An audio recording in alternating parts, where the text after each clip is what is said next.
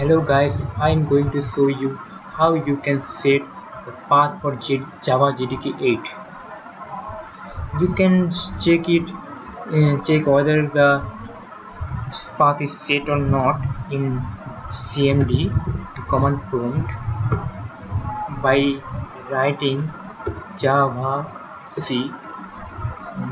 Click enter.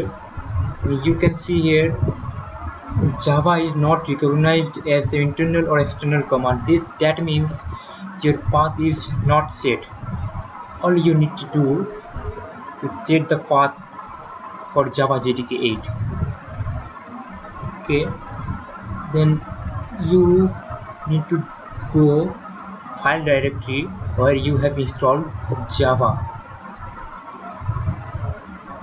Here go program files java jdk 8 and you can see here the bin folder.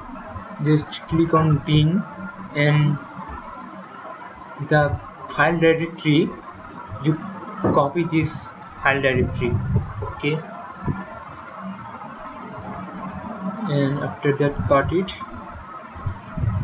And go to uh, this pc right click on it right click properties. And you can see this option advanced system setting. Just click on it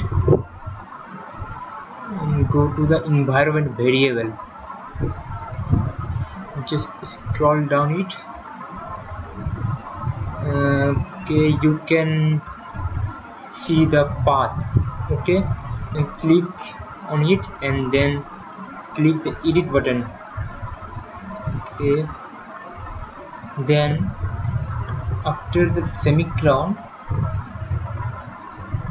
sorry semi semicolon then paste what you have copied.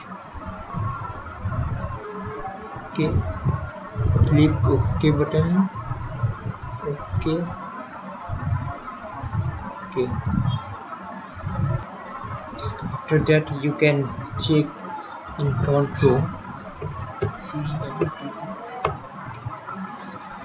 by writing java c. Click enter.